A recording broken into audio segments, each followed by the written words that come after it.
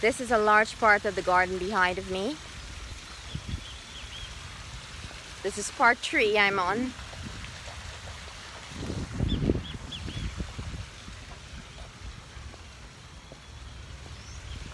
Okay, here it is. So I have to walk walk down that that strip at the back of me there to head to my car